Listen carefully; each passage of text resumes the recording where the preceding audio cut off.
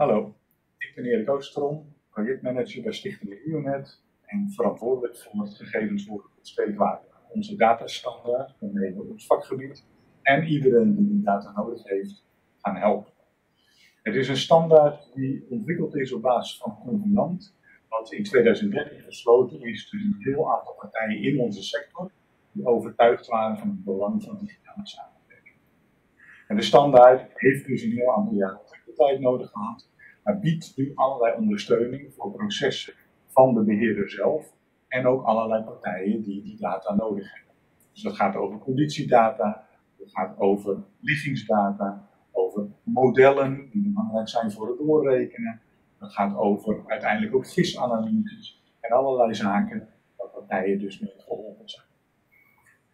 Die data wordt ontsloten voor de beheerder zelf, maar ook voor de buitenwereld. Bijvoorbeeld via PDOK, waar rioleringsdata gewoon zichtbaar is en bruikbaar is voor iedereen. Ons volgende doel gaat eigenlijk veel verder dan onze sector. Want wat we voor riolering hebben opgebouwd, dat is ook nuttig en relevant voor de wegbeheerder, de groenbeheerder. Dus voor al die domeinen willen we graag zo'nzelfde standaard zien ontstaan.